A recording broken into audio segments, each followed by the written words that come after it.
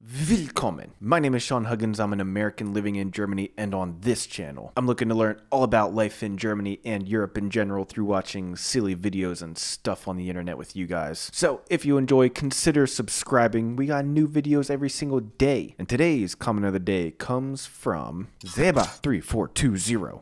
And they say, I will wait for your food tasting video. Well, my friend, the food tasting video is already out over on my vlog channel. I tried a bunch of German snacks and candy and gave my reaction and a rating for each of them. And it was super fun, super funny. Definitely go check it out. I'll have that linked down in the description. But that video is getting kind of old. I think it might be time for a new one. If there's interest, if anybody is interested in me getting a bunch of German groceries or candy or sweets or anything basically, and you want me to make an updated video, then let me know down in the comments. Or like I said, check out my first German snack review video and leave a comment there. And yeah, if people are actually interested in what I have to say about German food or snacks or whatever, then I'll sure I'll do another one. I love eating food, so of course I'll do another one. I don't care. So, Seba, thank you for the comment. Much appreciated. And let's get into today's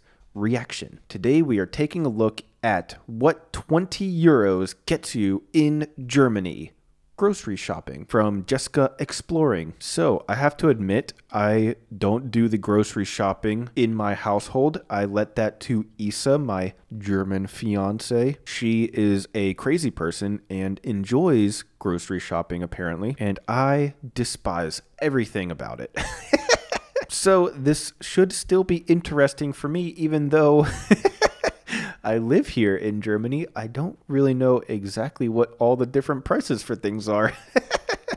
so let's find out together, I guess. This is what 20 euro can get you at a grocery store in Germany. For those that don't Wait a minute. Hold on a second. Run this back. Center am Bayerischen? This is what 20 euro can get you at a grocery store. Center am Bayerischen Platz? I was expecting maybe an Aldi or a Lidl.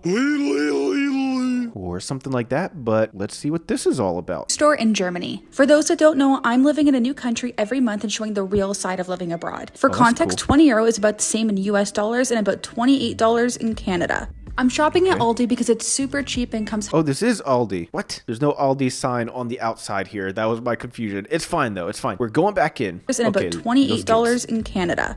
I'm shopping at Aldi because it's super Perfect. cheap and comes highly recommended. Mm-hmm. They have everything from baked goods to meats, produce, and super cheap alcohol, wine, and beer. I like Aldi a lot because they have what I like to call the fun section. Whenever I actually do go grocery shopping, I go directly to what I call the fun section, which is all of the stuff that isn't groceries. it's like the home goods slash clothes slash office supplies slash tools slash everything in the center of the store. Oh, dude, that's the best. I like that section a lot. That's my favorite section. It's the fun section.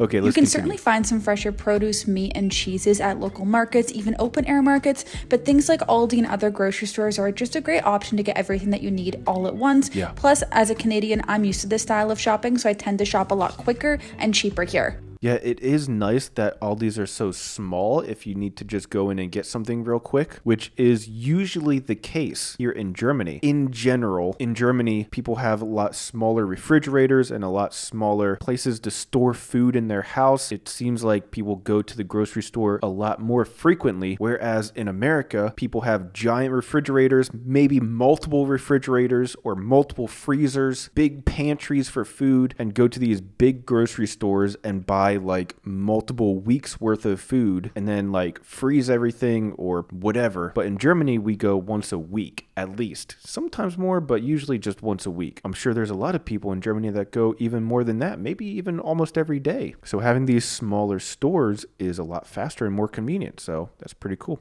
If you are planning on visiting Germany for a period of time, it's super important to note that everything is closed on Sundays, and that does include grocery stores. So you definitely want to visit on a day that's not that. But not Döner. When all hope is lost, bet on Döner. I love Döner. Okay, now let's see how far my 20 can take me here. First, Okay. English muffins for 119. They're super fresh too. Then you have to grab something from the snack aisle. I went with the American cookies for 119. Ooh, Oh, American style cookies. Those are solid. Those aren't my favorite American style cookies. My favorite American style cookies are the Oreos, which are in a lot of places here in Germany that I've been seeing. So that's pretty cool to see, actually. But I do like this style as well. Let's continue. This aisle is almost magic after being in France, where a lot of things are less processed. Sometimes you just need some cookies, chips, and candy. Next is dinner, which is a chicken schnitzel. There's three pieces in here for $5.69.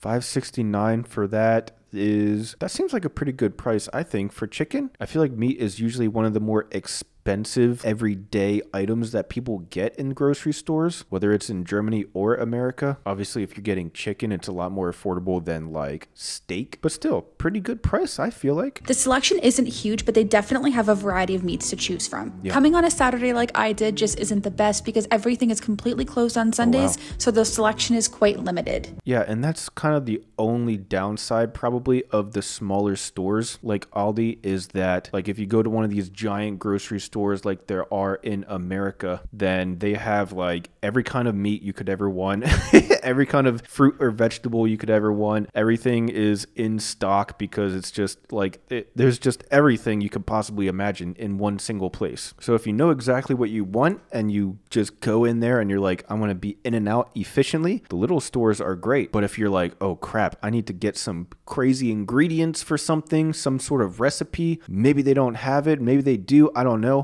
Bam, you can go to the big store and you're like, oh, they definitely have it because they have everything, you know? And actually, I've been to a really big grocery store here in Germany. It's called Kaufland. I don't know if it's a regional thing or if it's in all of Germany. No idea. But it was like the American style giant grocery store or whatever you want to call it. So there are still these big places to go in Germany if you want that option. And in America, we have a lot of these smaller options. Like we have a lot of Aldi's, for example, in America. So even in America, you can go to these little options too. It's just the big options are more common. But I like that both countries have both options. It's the best of both worlds. Everybody coming together in peace and harmony to live happily ever after. Anyways, sorry, it's really late and I'm tired. Uh, I'm acting weird. Let's continue. Next is a pasta restock for 99 cents and of course some sauce for 159. I find that the selection of cheese and deli meats is quite massive here, but I always go with this one. The price Yep. isn't bad. It's 4.39 for the whole block. Yeah, the cheese and deli meats in Germany is a very good selection. I feel like from what I've seen, Germany really likes their deli meats and cheeses. You guys eat deli meats and cheeses for breakfast, which is not something that I was used to before coming to Germany, but now I actually just had deli meats and cheeses and marmalade and butter and all this stuff on bread for my breakfast today. And it was really good. That's something that is not very common in America, though, at least not for breakfast. But in Germany, apparently, very common and also very tasty. Isn't bad. It's 4.39 for the whole block. Next, I just grabbed a container of grapes for snacking for 2.49. One last good. treat. I've been eyeing this chocolate milk for weeks and it's 159. Oh, dude, that's a big chalky milk. Yo, why have I never seen that one before? Oh my gosh. Oh, look at all the chocolate at the bottom. Oh man, dude, I know that that chocolate milk is good. I'm gonna tell Isa to get me some next time. Yep. Yep, putting that on my shopping list. That looks like some good chocolate milk. Cashing out is definitely a different experience here. The cashiers are crazy quick, so you have to bring all of your items over to the separate area yep. to beg so you don't get in the way of others. Fastest scanners in the world. Dude, the Aldi scanners are whew, lightning fast. Always gives me anxiety when I'm checking out. but I'm getting pretty good at packing my groceries. Like I'm getting a lot better, so improvements. And here's the haul. This 20 euro got me twice as far as it did in France. Stay tuned to see how it Whoa, compares to a grocery shop in Croatia when I'm there in a few weeks. If you want to follow along with me to other countries, be sure to like and subscribe.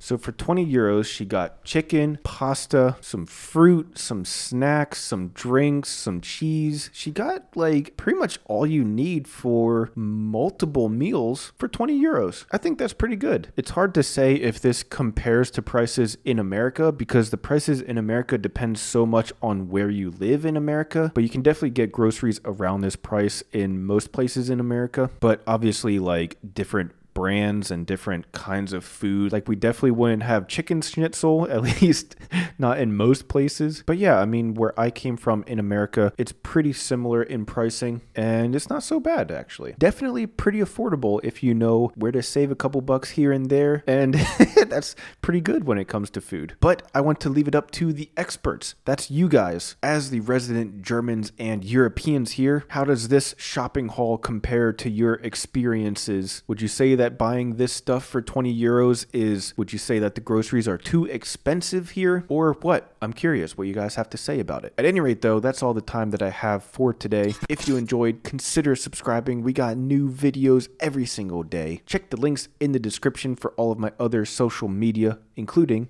my vlog channel. Thank you guys so much for being here, and as always, I'll see you guys tomorrow.